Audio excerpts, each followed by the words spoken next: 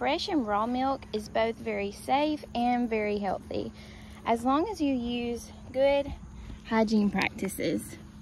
Before milking, want to make sure that you clean the udder and teats very well. I use a white rag to make sure that I can see any kind of debris that is coming off. When the rag comes clean, she's ready to go.